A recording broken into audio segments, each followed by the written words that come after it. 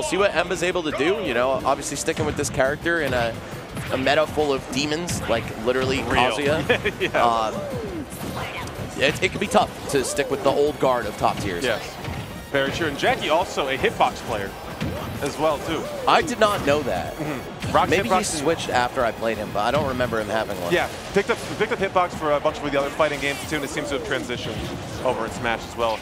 But this transition into advantage does not seem to be happening either. Emba is taking a great lead here too. Jackie's still putting some work on, putting some hits in, but this percentage deficit is building. Trying to come down with the pill. At the very least, open up some safe pressure. And if it hits, you can get a free confirm. The bounce, once you get hit by one of those, it's much different than Mario's. Let's Yeah. put it that way. It can combo into a ton of stuff for Doc. That said, we're not going to see it yet. It's looking like Emba is off to a great start here, switching back to Squirtle just for that low percent damage. Switching to Ivysaur to dodge the pill, perhaps, or just to switch to Ivysaur. Or both. Real. The range might also be helpful too. Dr. Mario, again, another stubby character. Those forward airs, those back airs can be hard to deal with, but just off the down throw, Jackie Peanuts taking a stock in this game. Not too much extra credit.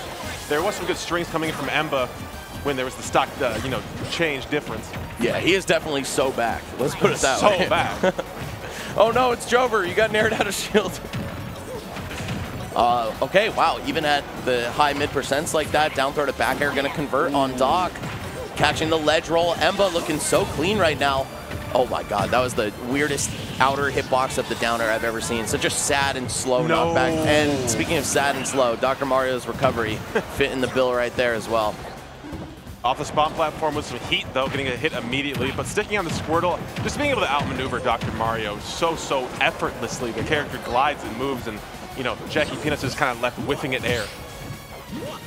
The parry on the withdraw too. That's some like, that's some nerd stuff right there. I'm be honest, you're a nerd, Jackie. Who goes for that? Uh, up beat Oh. back. Oh, I thought there was a down tilt coming.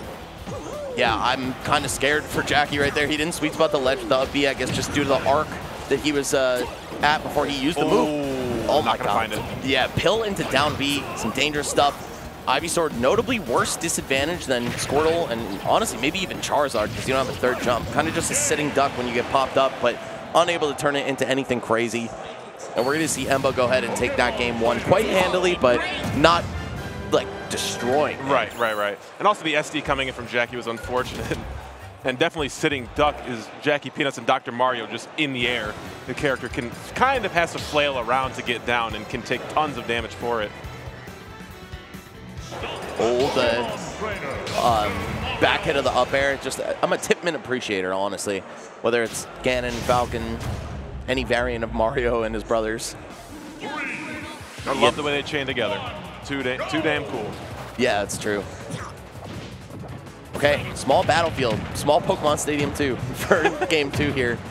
And SPS 2. yeah. Yo, uh, you agree to SPS two? Oh yeah, PS two. No, no, no, no, no, the small one. Down smash, able to cover that roll on. Jackie's gotten caught for a roll twice now. First game died to that up smash from Charizard.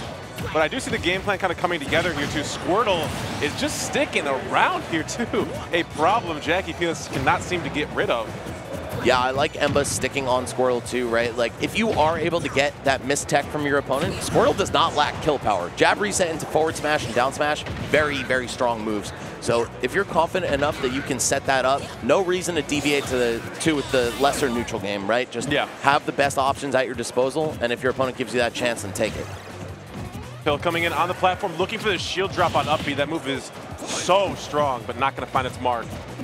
Oh, what a dash grab in. Looking for the landing option, not going to find up air. Oh, and the pill into up B. Okay, Jackie starting to get some things together once again. Very similar lead that we saw last game. Oh my God, the back throw bair. It's such a weird DI mix-up because you're thinking, I want a DI away from a throw that will combo me going forward, but that's actually the wrong DI for back throw, and then you get bared. Didn't die directly to it, but just unable to Set make it a back. situation, yeah. Yep. Hill chase out here, and gonna dash up for the grab on neutral get up, but the roll in was a great choice from Emba. And still smothering here too. Fortier coming down, Jackie wins the trade. Setting these pills up at the ledge as well, but Ivysaur, of course, good to make it back from pretty much anywhere. Vine Whip being a huge tether.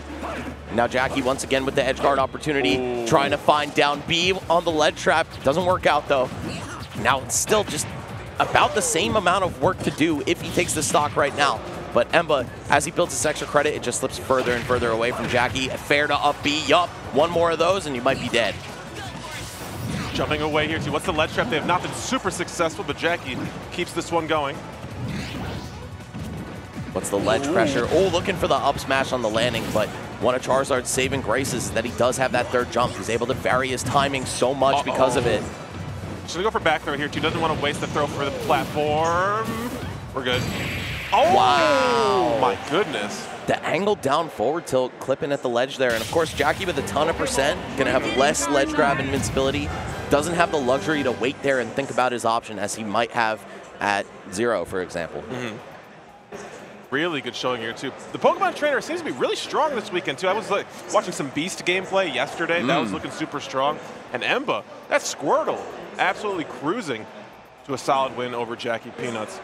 Yeah, I would say Emba's best mon was his Squirtle for yes, sure. He was looking great, and that's a good title to have, right? Because if you start things off on the right foot in fighting games, you're often going to be able to turn that into a win, right? Getting a lead is just so, so important, and you could see the value of it right there, courtesy of Emba's Squirtle.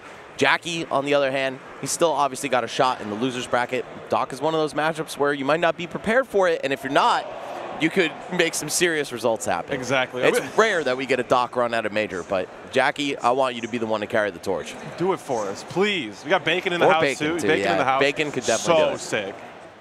Oh my goodness! But it has been so much fun, my friends. This event is going off beautifully, but it wouldn't be possible without our beautiful sponsors, the SmashCon Control.